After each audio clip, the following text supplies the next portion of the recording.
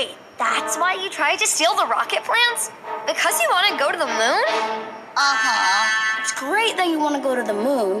But it's not great to steal stuff and make everyone take naps. I'm sorry. We'll put the plans back. Can we at least drive the rover back to the exhibit? No!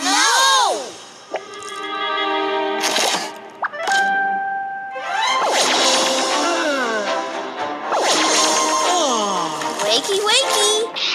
Magda, how long was I napping?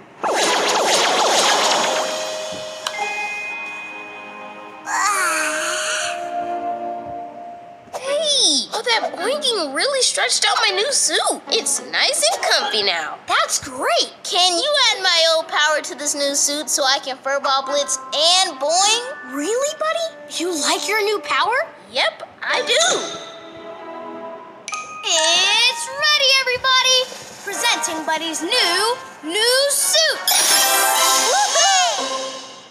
Buddy didn't want to use his new suit because it wasn't like his old one.